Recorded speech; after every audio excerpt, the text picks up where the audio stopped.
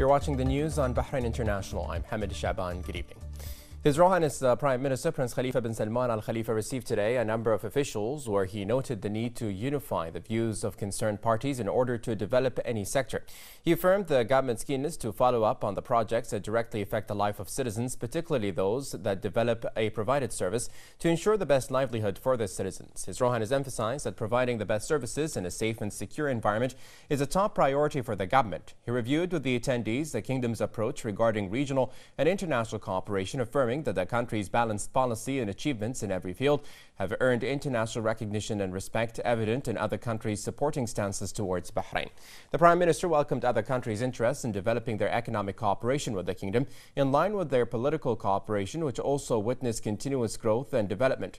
Royal Highness added that the world is now aware of the challenges and terrorist threats that face Bahrain and countries now support the kingdom's efforts in maintaining its security and stability. Regarding Arab affairs, the Premier called for enhancing Arab cooperation in investment fields, noting its positive effect on the development of the region's countries and people.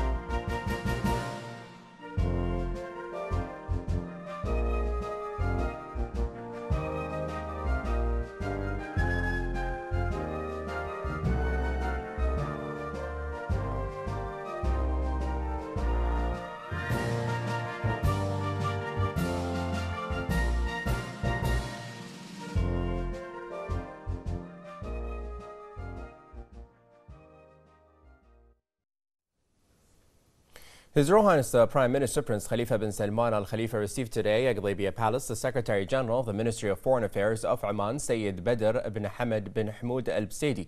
His Royal Highness hailed the Bahraini Omani relations and the advanced level of cooperation which reflect the deep rooted relations between the two brotherly countries. He affirmed Bahrain's keenness to develop bilateral cooperation and broaden the horizons of cooperation in various fields based on the two countries' strong historic ties.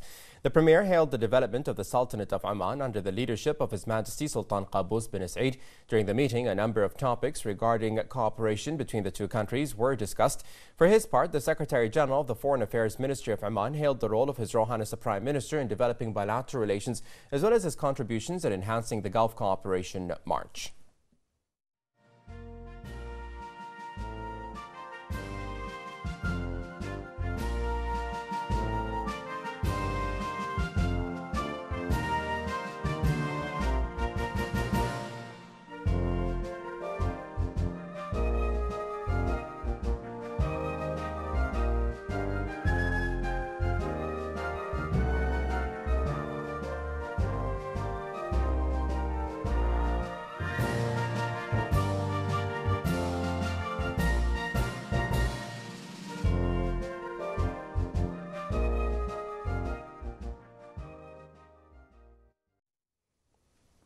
The representative of His Majesty the King for Charity Works and Youth Affairs, Chairman of the Supreme Council for Youth and Sports and President of the Bahrain Olympic Committee, His Highness Sheikh Nasser bin Hamad Al Khalifa received in the presence of the Deputy President of the Supreme Council for Youth and Sports, President of the Bahrain Athletics Association, His Highness Sheikh Khalid bin Hamad Al Khalifa, His Royal Highness Prince Hamza bin Al Hussein, who is visiting the country to attend the Formula One Gulf Air Grand Prix. His Highness Sheikh Nasser welcomed his guests, hailing the deep-rooted brotherly relations between Bahrain and Jordan. He noted the keenness of the two countries' leaderships to enhance and develop relations to achieve the aspirations of their people. Sheikh Nasser affirmed the importance of enhancing bilateral relations in all fields, particularly youth and sports. For his part, Prince Al Hussein commended the achievements of the kingdom at all levels. He wished the country further progress and prosperity. He praised the development of the kingdom, affirming the importance of the Formula One Grand Prix, which reinforced its status as a hub for the motorsports in the Middle East.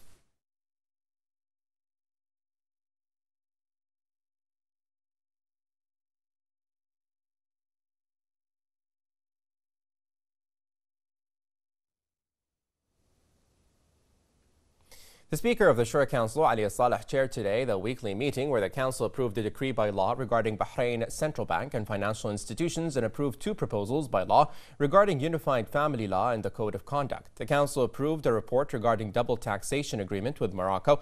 The Council then discussed a report of the Shura delegation participation in the second session of the Arab Parliament Speakers Conference in Cairo and another report on the participation of the Council's delegations in the Arab Parliament Committee meeting and the fourth meeting of the first session of the second legislative legislative term also in Cairo.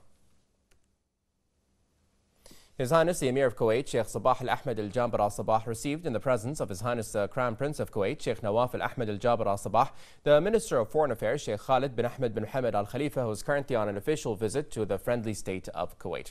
The Minister of Foreign Affairs conveyed the greetings of His Majesty King Hamad bin Isa Al Khalifa and those of His Royal Highness the Prime Minister, Prince Khalifa bin Salman Al Khalifa, and His Royal Highness the Crown Prince, Deputy Supreme Commander, and First Deputy Prime Minister, Prince Salman bin Hamad Al Khalifa, to the Emir of Kuwait, wishing him good health and happiness to the brotherly people of Kuwait. His Highness the Emir of Kuwait welcomed the Minister of Foreign Affairs, praising the historically deep-rooted fraternal relations between Bahrain and Kuwait, hailing their joint cooperation in various fields to achieve common goals and aspirations. He also praised the continuous interaction and solid relations between the two countries and entrusted the Minister of Foreign Affairs to convey his greetings to the leadership of Bahrain, wishing the country constant progress and prosperity. Sheikh Khalid affirmed that the high interest accorded by His Majesty the King and His Highness the Emir of Kuwait to the solid historical relations linking both friendly countries represent a catalyst for further cooperation at all levels, expressing sincere thanks to Kuwait for its supportive stances towards Bahrain at all circumstances.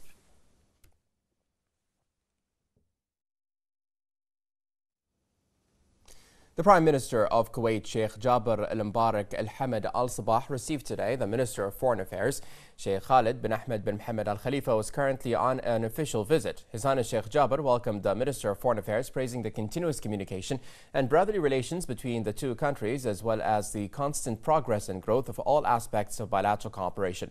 The Minister of Foreign Affairs conveyed the greetings of the wise leadership and best wishes for good health and happiness to the Kuwaiti Premier and further prosperity and progress to the people of Kuwait, expressing the Kingdom of Bahrain's pride in its close historical relations with the state of Kuwait. He also stressed that continued interaction and consultation between the two brotherly countries have pushed for broader horizons of coordination and joint action to benefit both countries and people. During the meeting, the Minister of Foreign Affairs briefed the Prime Minister of Kuwait on the progress of the Kuwaiti Bahraini Joint Supreme Cooperation Committee and on the agreed memoranda of understanding and executive programs. His Highness Sheikh Jaber stressed the importance of following up the work of the committee to which the Prime Minister offers all support to help it achieve its objectives in promoting bilateral relations at all levels. The Minister of Foreign Affairs, Sheikh Khalid bin Ahmed bin Mohammed Al Khalifa, met today with Sheikh Nasser Al Mohammed Al Ahmed Al Sabah, who welcomed his visit to Kuwait and asked him to convey his greetings to the wise leadership, wishing Bahrain further development and prosperity. The Foreign Affairs Minister also conveyed the greetings of the wise leadership to Sheikh Nasser Al Sabah. Sheikh Khalid expressed pride in Bahrain's deep-rooted brotherly relations with Kuwait, highlighting the efforts of Sheikh Nasser al-Sabah to serve Kuwait and Arab and Islamic nations. Sheikh Khalid also expressed thanks to Sheikh Nasser's continuous interest in Bahrain, wishing him abundant health and happiness. The Minister of Foreign Affairs, Sheikh Khalid bin Ahmed bin Mohammed Al Khalifa, delivered a speech during the ninth session of the Kuwaiti Bahraini Joint Supreme Committee Cooperation Meeting, which was held today in Kuwait. He praised the bilateral, deep rooted, and historic relations and the level of cooperation reached by both countries thanks to the brotherly ties between His Majesty King Hamad bin Isa Al Khalifa and His Highness the Emir of Kuwait, Sheikh Sabah Al Ahmed Al Jaber Al Sabah, which are based on common goals and joint actions that achieve the aspirations of both countries and people and maintain stability and prosperity. The foreign minister pointed out that recent political and economic challenges facing the region and stressed the need to further enhance the bilateral relations and strengthen joint cooperation in order to achieve political, economic, social, and cultural goals and protect the gains made by the countries. He praised the cooperation of the Bahraini Supreme Council for Women, led by Her Royal Highness, wife of His Majesty the King, and President of the Supreme Council for Women, Princess Sabika bint Ibrahim Al Khalifa, and the Women Affairs Committee led Sheikh Latifa Al Fahad Al Salim Al Sabah. He invited all public and private institutions of Kuwait to participate in the Sabika Global Award for Women Empowerment, hailing the role of Kuwaiti women thanks to the support of the wise leadership of Kuwait. Kuwait's first Deputy Prime Minister and Foreign Minister Sheikh Sabah Khalid Al Hamad Al Sabah delivered a speech in which he stressed the need to strengthen cooperation in order to overcome all challenges. He affirmed Kuwait's firm stances towards the Kingdom of Bahrain. The two sides signed three MOUs in the fields of parliamentary cooperation, electricity, and traditional central markets cooperation. They also signed three programs in the field of education, culture, and environment.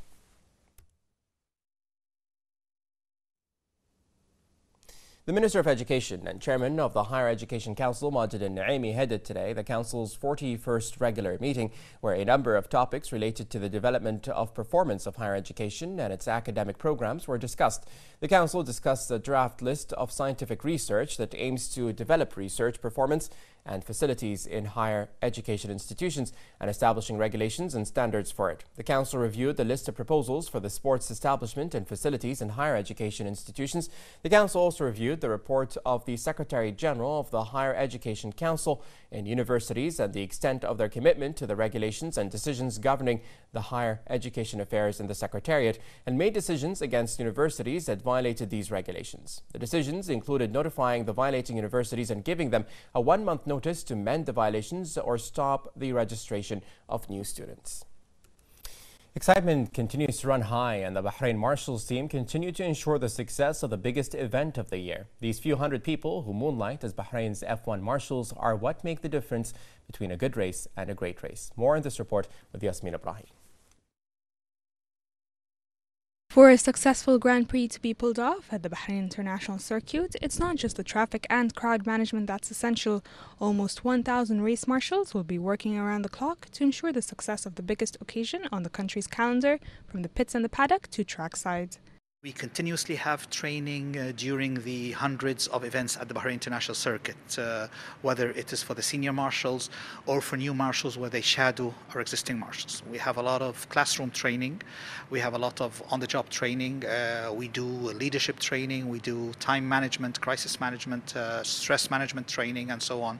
So the training cycle is continuous. This year we have about uh, 1,155 marshals, out of which 970 are males and 185 are females. We have a, a lot of females who are in uh, leadership positions, who uh, have been with us for a very long time, and who are also trainers. You know, so uh, it's something that we are very proud of.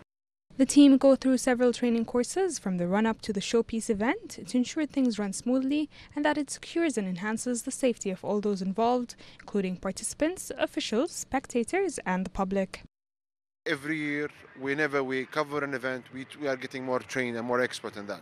It gives you success that you feel that you have done your part, you have covered all the all the medical aspects, whether either on track or for the spectator side.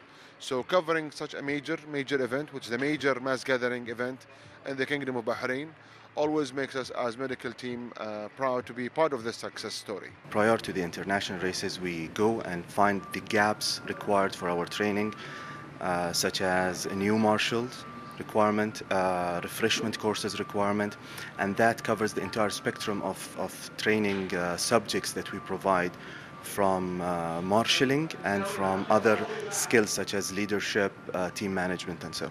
We do meetings so it takes several months of preparation so we do meetings in the beginning. Anyone who's not been able to give that time commitment is not there uh, for the f1 to make sure that we don't have any amateur mistakes because our standards as Bahraini marshals is known all over the world. We've been uh, running races in India and in Azerbaijan last year and this year hopefully in Abu Dhabi as well. The Bahrain Marshals team are made up of both men and women who enjoy being part of motorsport and this year will be assisted by volunteers from abroad, each of which will play an integral role in making sure the Formula One passes without a glitch. It is because of the efficiency of the Bahrain Marshals team. The team is able to put in what is required to live up to the standards to make sure Bahrain is shown in the best possible way. Reporting for Bahrain International, I'm Yasmin Ibrahim. The Ministry of Youth and Sports Affairs held a press conference to unveil the details of the 9th International Youth Convention from the 22nd to the 27th of April. The convention aims to introduce young people to the goals of sustainable development of the United Nations, promoting a culture of giving and encouraging the youth to revitalizing their country's economies. The conference will attract international expertise and active personalities in various fields who will also provide an opportunity for the participating delegations from around the world to strengthen communication, creativity and cooperation among themselves. The press conference reflected the nature of the partnership between the Ministry of Youth and Sports Affairs and Tamkeen Foundation, which aims to pave the way for the Bahraini youth to participate in the development process of the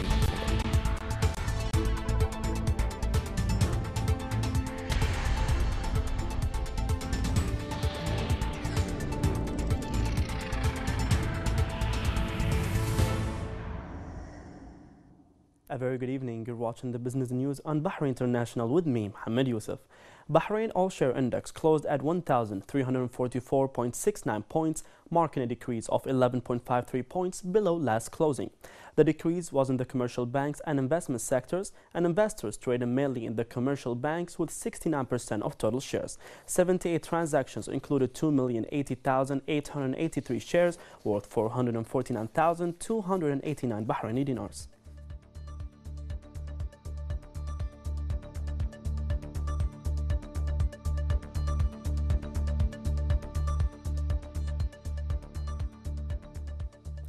Second deputy chairman of Bahrain Chamber of Commerce and Industry, Abdul Hamid Al Khohaji, received a business delegation from the Philippines headed by the Undersecretary of the Philippines Department of Trade and Industry, Ruth Castelo. The meeting discussed enhancing bilateral business, stimulating partnership and investment opportunities, which underline promising sectors such as ICT, construction, tourism, energy, health, and medical services. The meeting also discussed business and investment climate and privileges to foreign investors.